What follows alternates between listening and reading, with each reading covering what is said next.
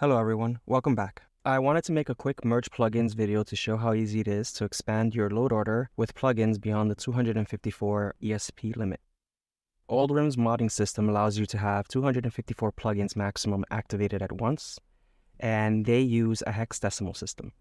A hexadecimal system is a 16 number based system that uses 0 through 9 as 1 through 10, and then A through F to complete the 16 number count and then this count repeats 16 more times until you get to 256.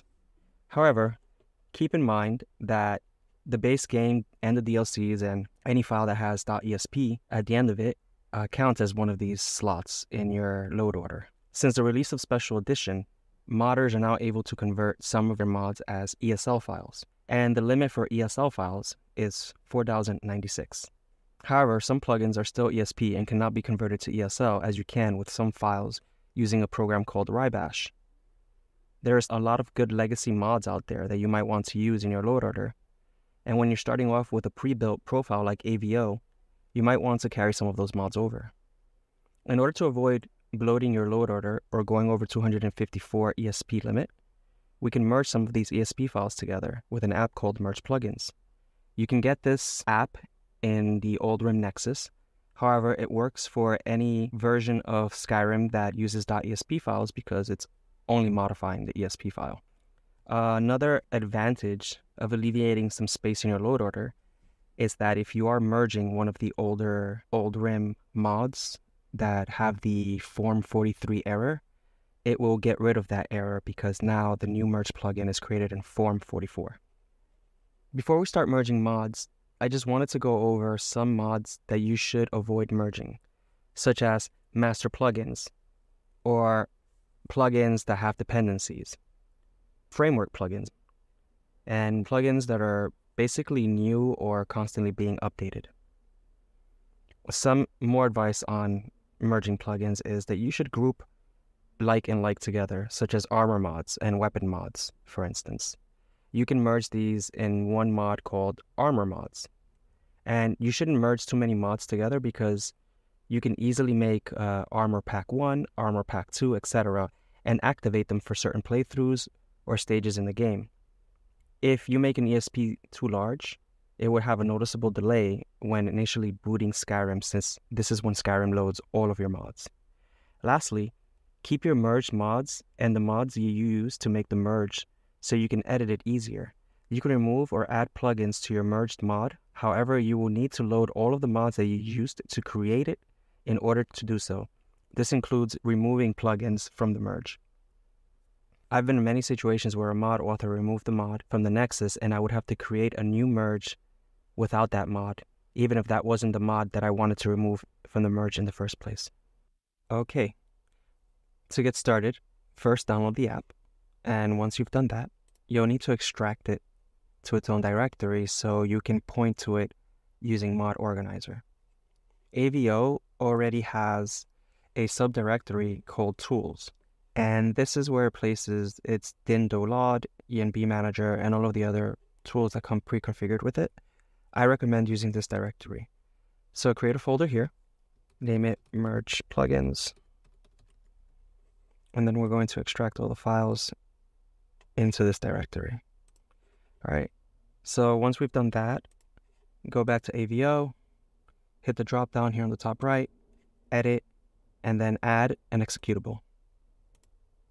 And you'll need to point it to the directory where you just placed it. So again, tools, merge plugins, merge plugins, um, and apply. Okay. Right. In order to use the app, we'll need to uh, merge some plugins. So I've already chosen two Armor plugins. So for instance, we have Crimson Twilight and Volkihar Knight.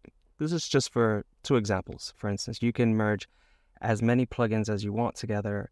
Again, I recommend that you keep them categorized and set a limit, maybe no more than 20, 30, mods at a time, uh, or plugins in each merge mod. So let's go ahead and start. We're going to have to activate these two. It doesn't matter where they are in the load order, they're not going to stay there. So then we go to the drop down menu and we're going to run merge plugins. You'll need to tell merge plugins where your Skyrim directory is. So find your AVO installation and point merge plugins to the game root folder. Click on it, it'll turn blue from green and the OK button will be highlighted. So now, here we are in merge plugins. It's going to pick up all of your activated plugins. So I recommend that you right click, uncheck all, check the mods that you're going to merge, and they have dependencies, as do all mods. These mods are dependencies, obviously the main game, so you'll have to. Okay.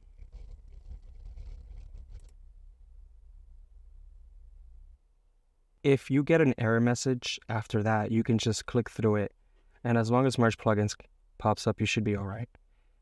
And then after that, it'll automatically put you into options. What you should do is go into integrations, set I'm using mod organizer and the directory and the mods directory.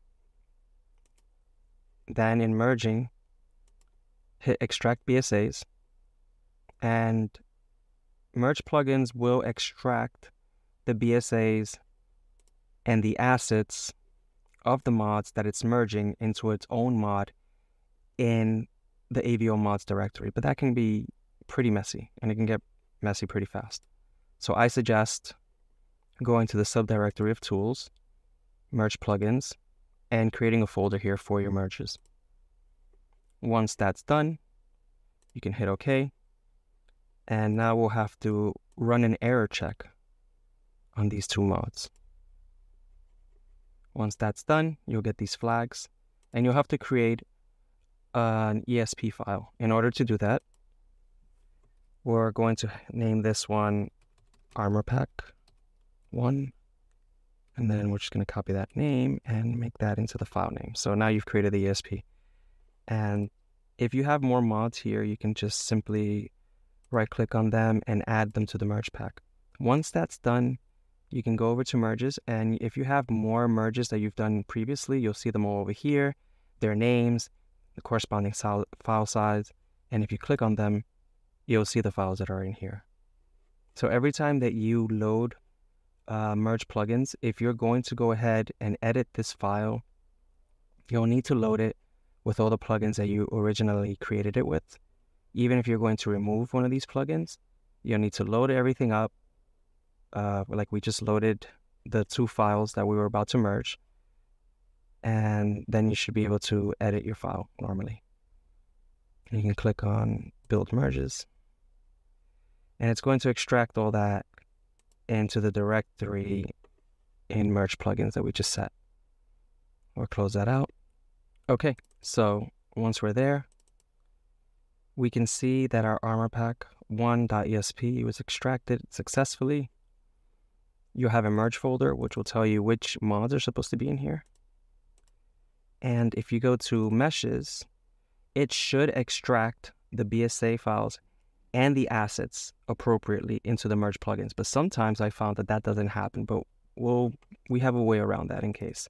We can check over here and see that Volkihar Knight did extract all of, its, all of its meshes and textures. However, it seems that Crimson Twilight is missing. So what we can do is we can simply go to Crimson Twilight and take its assets leaving the ESP file. I'm going to copy these over and paste them right into here. And once that's done, I can copy the mod into my mod directory. So I'm just going to go ahead and do that. And then we're just going to paste it in here. So this is the AVO mods directory and armor pack one is right there. Refresh mod organizer, and you should see the mod pack right here. And we don't need these two anymore. And now we can go ahead and start Skyrim.